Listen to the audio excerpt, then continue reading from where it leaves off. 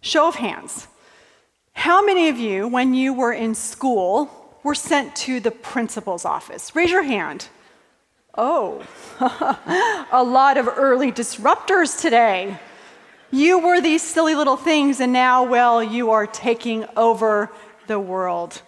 Like the telephone did to the telegraph, like the automobile did to the horse and buggy. More recently, we've seen Toyota disrupt General Motors, Netflix disrupted Blockbuster, and now cable TV. Disruptive innovation, it follows a framework. The disruptor secures a foothold at the low end of the market. Think Netflix in the 90s.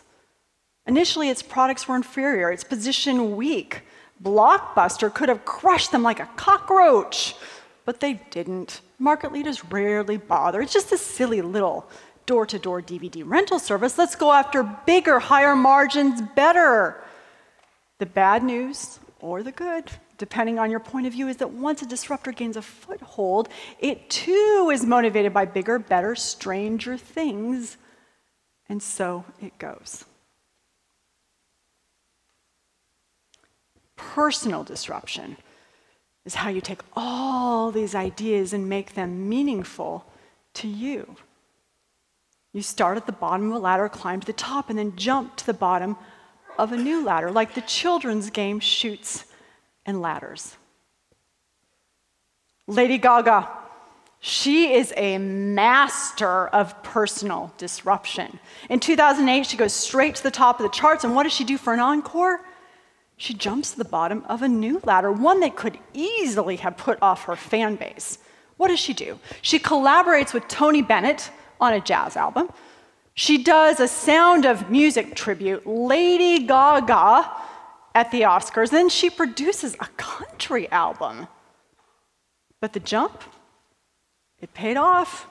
Her performance at the Super Bowl in 2017 had the largest music audience ever, and now a star is born.